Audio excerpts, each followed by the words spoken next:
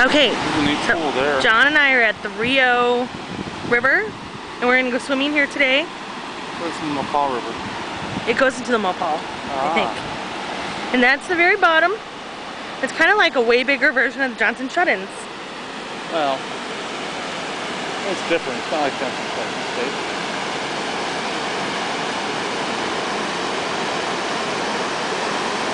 And it comes all the way from a spring at the very top. Dad, if you look really close, there's a topless lady. Just kidding.